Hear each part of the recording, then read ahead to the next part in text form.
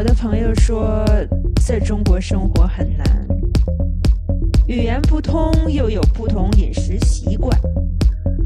我笑了笑回答：“这简直是狗屁！”让姐告诉你怎么用中国话表达吃饭。我说刀子，他说刀子，我说勺子，他说勺子，我说叉子，他说扇子，我说